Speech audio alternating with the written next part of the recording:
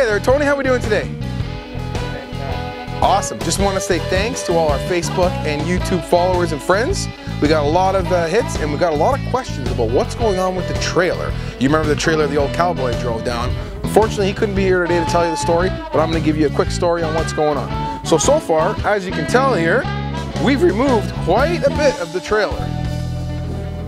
Take a look in here. There's our number one hardcore worker right around the corner there. Walter, give us a wave. He's working hard. What we're gonna do here is we're gonna rip up the floor, put in a brand new nice custom wood floor. We're gonna put some nice wood walls all around the trailer, some nice comfortable seating, some large desks so everybody can be comfortably working, and then you folks can come on down and check it out. Thanks again for all your interest. Follow us on Facebook, and don't forget, pay a smile forward.